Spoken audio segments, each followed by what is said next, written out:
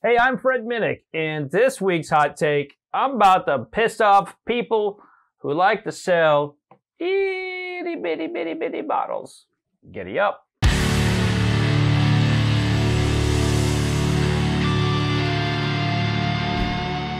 So back in the day, you used to be able to walk into a liquor store and you would see shelves upon shelves of big, gorgeous, giant, freaking 1.75 liter bottles like this.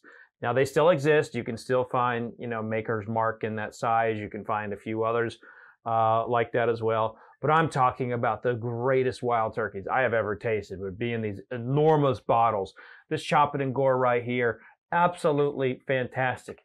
Back in the day, you could get Weller 12 year old in sizes like this. Isn't that crazy? Weller 12 year old?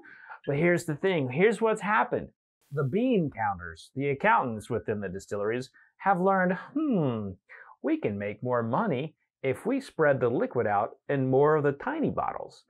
And as if 750 wasn't small enough, or the 200 milliliter, or the 375, the federal government has allowed distillers to stretch it out even more into like 700s and even smaller bottles than that. Now, there's nothing wrong with that. I think it's good that we have a variety of lar- of a variety of bottle sizes. But at some point, the whiskey industry kind of got away from good old fashioned jug whiskey. I mean, a handle. You want to be able to pick your whiskey up, take it to a tailgate, and just straight pour it like that. I think I think we've lost something in American whiskey by not offering these cool jugs. I think they're one, they're pretty kick-ass and beautiful. Two, if you're a whiskey drinker, you you know, you got a lot of whiskey. And three, well, I think it's just more whiskey. I kind of like the idea of, of a big ass bottle of whiskey. I mean, right? I mean, if wine can have magnums, why can't we have these like all the time? In fact, I want I want like I want a five gallon bucket size. Give me give me a five gallon bucket of bourbon. Or no, I take that back. Give me an entire barrel. Like don't even don't even like put it in a package. Just just sell the whole barrel of whiskey and just bring it to my house. I've got straws big enough for it. You know, I kid, I kid. But seriously, wouldn't that be awesome if you could have your own barrel just sitting in your house, aging there, just kind of sipping out of it every now and then? Kids, get away from the barrel! That's how that would go in my house.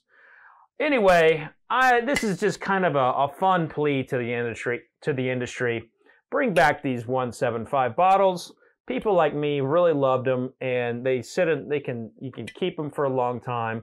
You know the bottles are great. And I think we really should see the return of the Octagon bottle and Wild Turkey. If you know that bottle, you know how good that whiskey is. Of course, everything from Wild Turkey in the 1970s was better than pretty much everything today. And uh, that's uh, kind of how I feel. So bring back the big giant jugs of bourbon, and uh, we'll put you'll put a smile on the face of a lot of us bourbon drinkers. So bring back the jugs, bring back the bourbon jugs. Okay, that doesn't sound as good as bringing back Maker's Mark 12 year, bring us Maker's 12 year old. So I will retire the chant of bring us the bourbon jugs. Doesn't sound as good. But anyway, that's going to do it for this hot take. Thank you so much for tuning in. Hey, if you want to check out more hot takes, click that subscribe button. If you want to learn more about American whiskey, you're in the right place. I'm going to teach you, I'm going to train you, and I'm going to tell you what I think about bourbons. Uh, but that's going to do it for this episode. So remember, no licking handrails, no licking trash cans. And vodka sucks unless it's being used for hand sanitizer. Cheers, everybody.